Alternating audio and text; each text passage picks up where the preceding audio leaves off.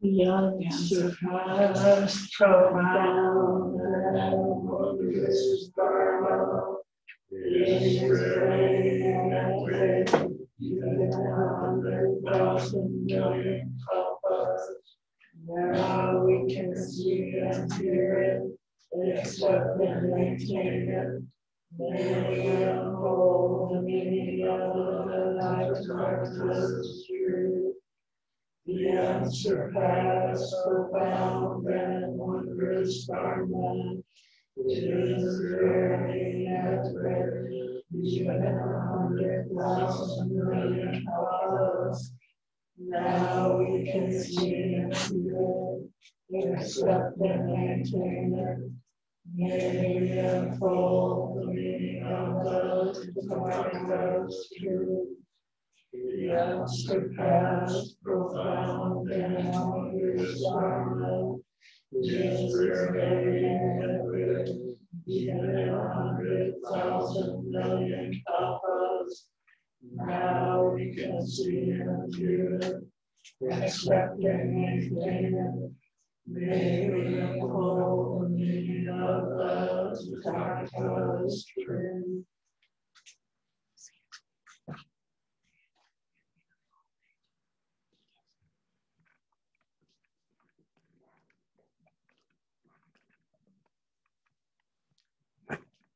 I think we need to do a sound check, right?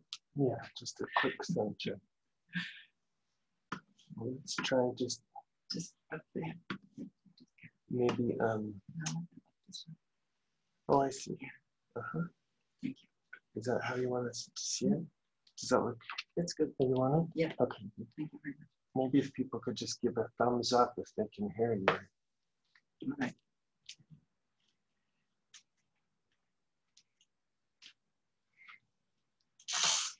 So good morning, everybody. I am muted. It says I'm muted. Um, you're the speakers in that that camera. Okay, okay. So can you hear me, everybody? Thumbs up? Yes. Great, wonderful. Thank you so much. Um, I was told we have to make do a sound check and let me know if there's a problem. Uh, raise your hand in whatever way that you can do that, and then um, we may be able to fix that. So. Welcome to the first full day of Sesshin at Hokyoji. And I want to extend my gratitude to all the people who have made this happen. it's quite amazing. It's quite a miracle. Um, and all the people, the residents who live here at Hokyoji have really worked very hard to get this all organized. And I know how hard it is to uh, organize a regular sesshin, uh, but this one is so much more difficult to, you know, see how how we can distance ourselves and be safe at the same time as we uh, practice together.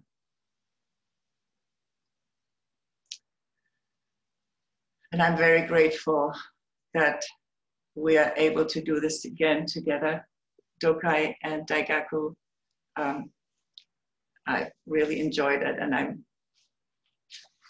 I'm grateful that we have been invited again this year. So these talks um, during Sesshin are supposed to be an encouragement for Zazen.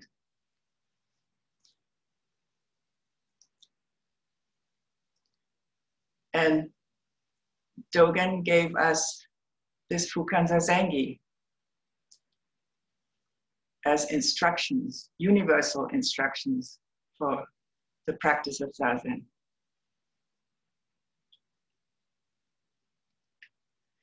I remember my first Zazen instruction.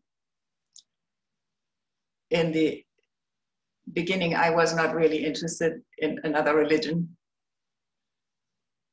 I had given up uh, religion in my teens and I wasn't interested to get into anything new. So a friend took me to Green Gulch Farm, is a beautiful place. And I liked, I liked the people. I thought, oh, there is something different here.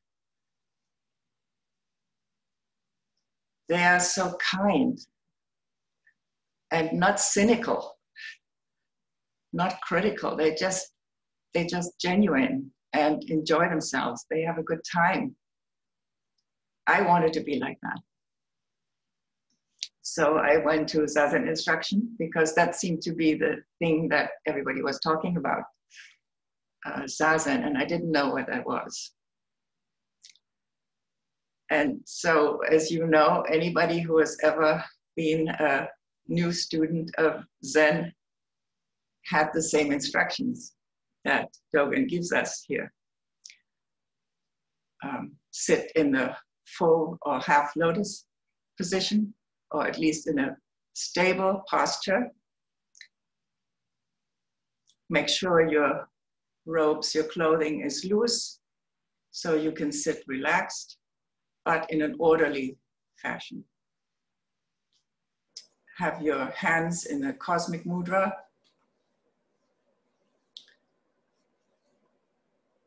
Make sure your spine is straight with your head balanced on your shoulders, right on top of the spine, so that your breath can freely uh, flow. Have the tongue against the front roof of your mouth, be behind your front teeth, and your mouth should be shut your teeth closed, and have a soft breath. Just breathe gently through your nose. And when you start meditation, deep breath to start with, and exhale. And find yourself into a steady, immovable sitting position. So that sounds pretty simple. So what do I do now?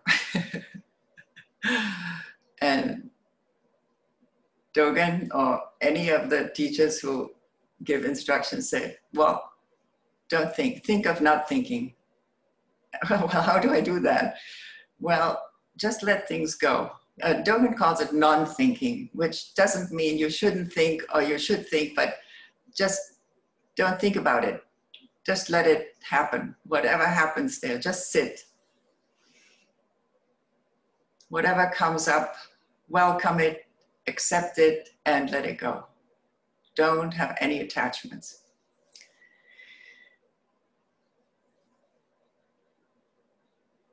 And this is the essential art of Zazen. That's what Dogen says. This is the essential art of Zazen. And you wonder, is there not anything else? Isn't there something dramatic that should be happening here? well, um, Blanche Hartman was really happy when she finally felt that she could do this. She could actually sit and not think about anything. And she was very happy. And she told her teacher, Shunryu Suzuki, who uh, was the founder of San Francisco Zen Center, and her teacher, um, she said, I can, I, can, I can finally sit, I can finally do Zazen. And he said, no, you don't do Zazen. Zazen does Zazen.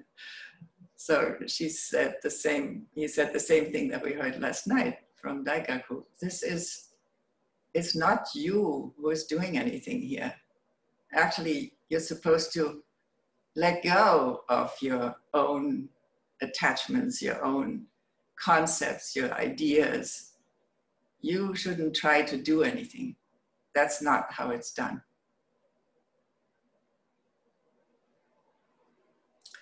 And Dogen goes further in his instructions.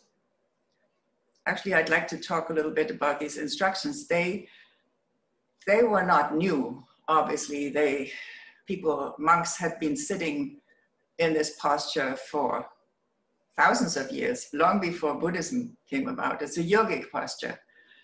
And, um, and so this was kind of written down finally by Baizhang, as far as we know, Baizhang Huaihai, a great Zen master who lived around 800, who had a large monastery. He organized a monastery with a monks, um, a sustainable, sustainable life for them. So they worked uh, in, the, in the fields so that they could actually uh, feed themselves. And he was very much like the other monks. He worked, you probably remember that phrase, um, a day without work is a day without eating. That was, that was Baizhang.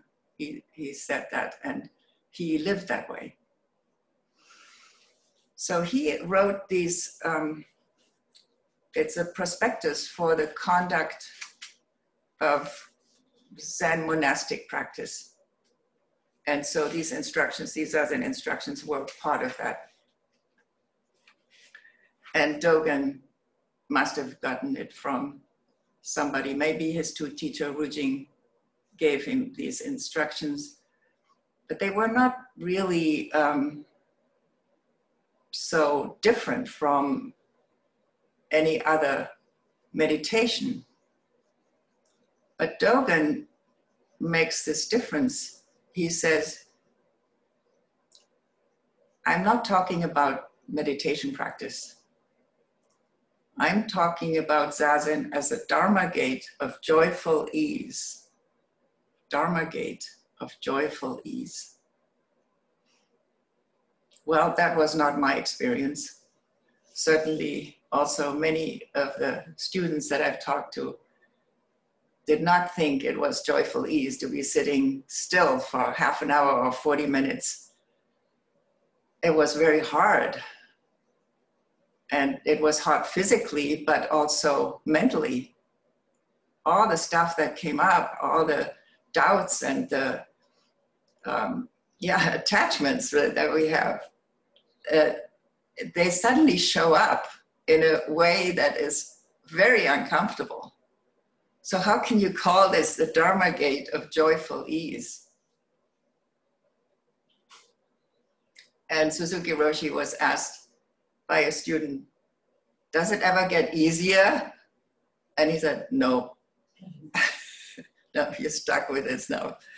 And I think what he meant was if he said, oh yeah, just wait, it'll get better soon, then everybody would be expecting something, right? They would say, oh yeah, well, isn't it about time? I've been sitting here now for several years and it's still hurting. um, well, actually, it's not getting better. You just have to accept it. And that's, and that's exactly the crucial point. We need to accept what is. So when Dogen calls it suchness, he says, practice suchness without delay. Suchness, which is what's happening right now. Just let it go. Let it happen. Let it happen without wanting it to be different, without having your own ideas about things. Just accept what's happening. Just be present with what is. Welcome whatever comes in whichever form. That's okay.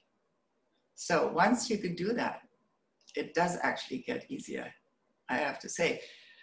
I mean, you know, stuff still comes up. Obviously, we have this karmic body that doesn't just um, go away, right? Things keep coming up, and uh, Dogen knew that very well, and he talked about that later on quite a lot. That we have to do continuous practice. We have to um, keep going with this, and certainly um, when we he, he mentions uh, the Buddha who was sitting silently, just sitting for however, however long, we don't really know, but you know, some say seven days, some say seven years. And what is the Buddha story? He left home. He was, he had an incredible opportunity to be one of the most influential and powerful people to be an heir to his father who was you know they say a king or a raja and he was a ruler of the warrior caste so the buddha had a good career in front of him and he said no this life is not it's not satisfying. I have to find the end of suffering. So he, he started um, out with meditation because that's what people were doing. He saw some monks who seemed very peaceful. And he was very good at it. He, he studied with um, some of the great yogis in, uh, in India and still, and he was good. He, he became really good. They wanted him to be their successor, but he said, no, actually, it's not really what I want because I always come back into this life again, even when I can get out of my body for a while. But this is not the end of the suffering that I'm talking about. And then he thought maybe it's the body that's keeping me from experiencing bliss and ease because you know as a young man especially all this testosterone happening there in the body i'm sure he was feeling a lot of you know desires.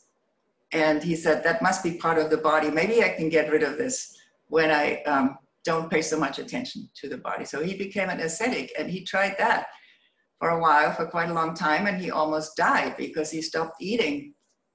And then he realized that's not that's not the way because I will come back. If I die now, it's not, it's not going to be the end. I, will come back in the same way. And also, I want to teach others to be able to, I want to relieve suffering for the whole world.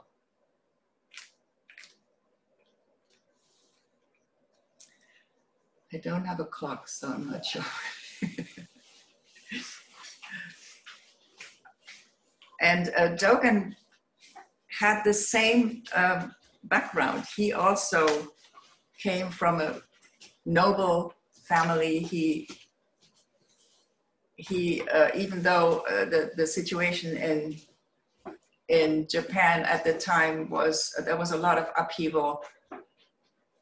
Uh, he was born in 1200, as you know, and the end of the 12th century had been um, very destructive. A lot of natural disasters happened. There is a, a little book by a monk who lived at that time, Kamo no Chomei, and he talks about all these horrible things that happened. Um, a fire that destroyed almost all of Kyoto. The palaces, everything was burned. And then there was a hurricane that completely destroyed the city again. And then there was an earthquake, terrible earthquake that went on and on for days with aftershocks. And then there was a famine. And people really thought, because so many were dying and it was so, such a serious devastation that, that they thought this is the end of the world. We're coming close to the apocalypse. And so when he was offered this job in the at the court, which would have been a very you know nice position, he said, "No, I I have to find out what life is about. This is not satisfying. I cannot I cannot just sit um, in a nice chair and see what the, all the destruction happening." So he also had this wish, and especially um, he also had a personal experience of impermanence when, as you heard, his mother died when he was seven. His father had already died when he was two. His father was a, an influential, very high official at the court, and, and his mother was his mistress. He was brought up very very well. He was very well educated. It says that he already was reading the Chinese scriptures uh, uh, at the age of four. So he was very well educated and very precocious. So they thought he would be he would be good, you know. He's an intellectual. He would be a wonderful person in the court. He somebody who we need. But he said, no, I don't want to do this. So he went to become a monk in the Tendai tradition, which was the leading religion at the time. And he was, that wasn't what he wanted. He, he wasn't happy there. So then he tried out um, Zen, actually had already come to Japan. Uh, Eisai brought that from, from China, uh, where he had heard Linji, the Rinzai master, where this uh, was passed on, and he brought that to Japan. So this this Rinzai Zen was already happening in Japan. It had just started. It was pretty new, and and there were also other forms of Buddhism. There was Shinran. There were many at that time in the early 13th century. There was a lot happening in Japan. Obviously, this upheaval had to do with it, but people were searching. So he studied with Eisai, who died very soon, and then his uh, successor, Myozen, became his teacher. And still, he did not get his deepest quest answered. And, you know, we think, well, maybe they were not very clever, those people. Maybe he just didn't find the right person there. And I think that's probably not necessarily true. I think everybody has that experience that you hear the same things, you hear the same teachings, and suddenly it clicks with one teacher. Suddenly you have a affinity. You, you understand it. Oh, that's what it means. It's the same teaching. And there may, may have been many teachers who uh, gave him very good answers, but he just didn't hear it. So he decided to go to China with his teacher Myozen, and Myozen then died in China, and finally, you know, uh, Dogen met Rujing. And that's when he understood. And it was through this acceptance, through this just letting go, that he found peace. It was in the middle of the night when the monks were sitting zazen, they were doing a lot of zazen. And a monk who was sitting next to Dogen started dozing off. He started, he fell asleep, and Rujing came and reprimanded him and said, You're not supposed to sleep here. You're supposed to drop off body and mind. And Dogen got it. He, it, he was able to let go at that moment. So this, this acceptance of what is, this is exactly, I think, what, what happened there for him. And he had this, you know, what they call breakthrough, this, this experience of joyful ease.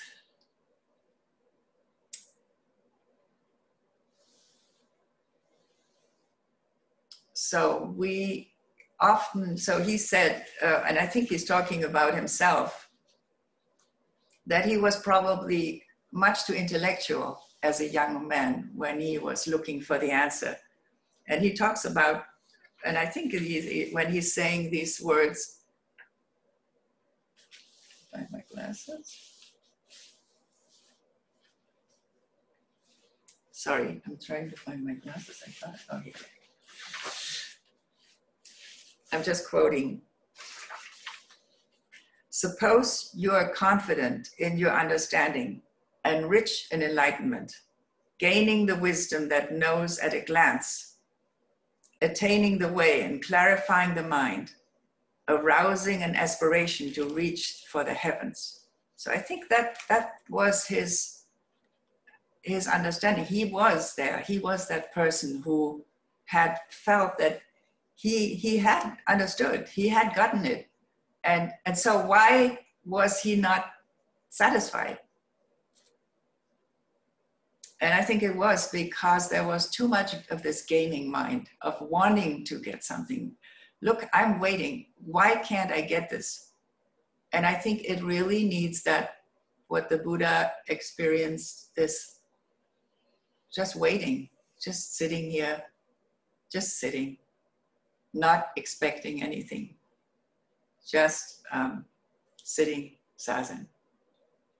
And once you can do that, once this acceptance happens, this surrender to suchness, to what is, then this feeling of joyful ease can actually happen.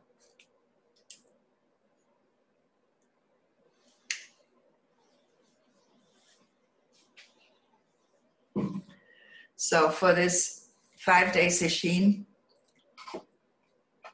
I can tell you from my experience, um, and if, of course, if you've done many sesshins, maybe that's not the same anymore. But I remember that the third day was the worst. So it it started nice because oh, this is uh, finally I can sit, just be at peace. I come from a busy life, and now I'm it's just silent, everything, nobody's bothering me. Oh, this is great.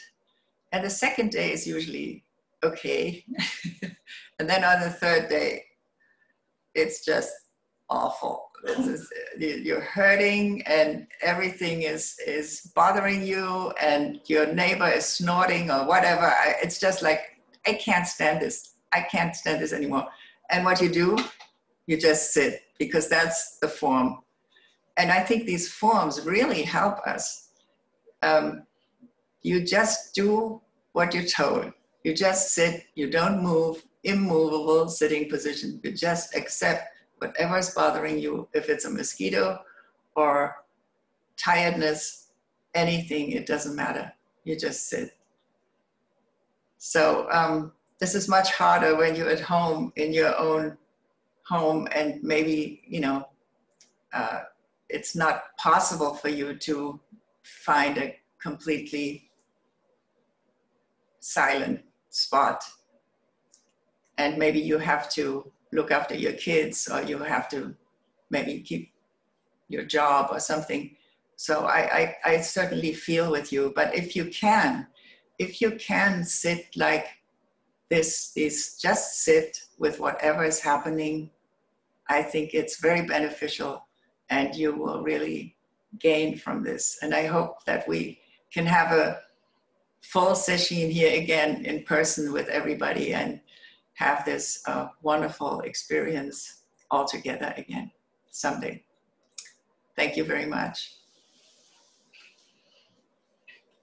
May our intention fully penetrate the place with the true merit of Buddha's way.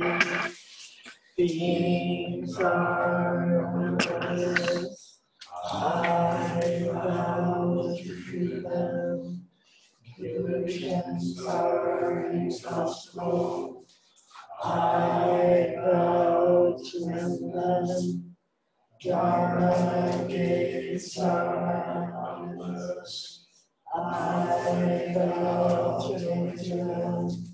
The Buddha way is unsurpassable.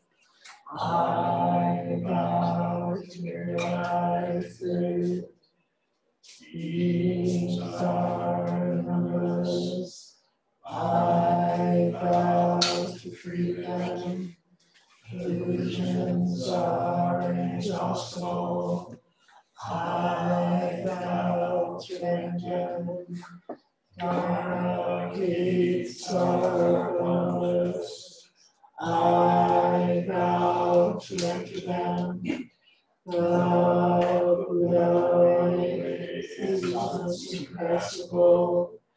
I vow to realize it.